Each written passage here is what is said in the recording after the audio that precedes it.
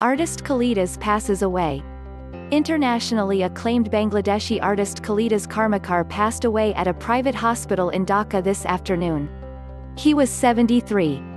Taken from aging.com. All clips may not represent the story. Watch to learn English the way you've learned your mother tongue as this video is especially made. Kalidas was an awardee of prestigious Ekushey Padak.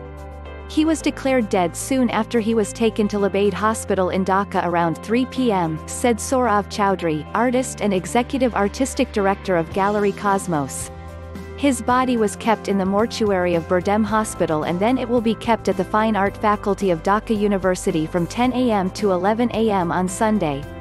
Later, the body will be kept on the central Shaheed Minar premise from 11 a.m. to 1 p.m. so that people from all walks of life can pay their last respect to the departed soul, Kalidas' sister Sanchita Karmakar told the Daily Star.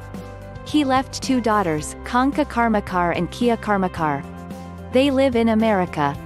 They are on the way to Dhaka from America. The funeral ceremony will be held as per their decision.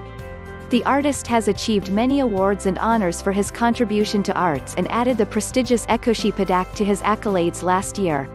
Kalidas' artworks echo symbolic, abstract and semi-abstract imageries.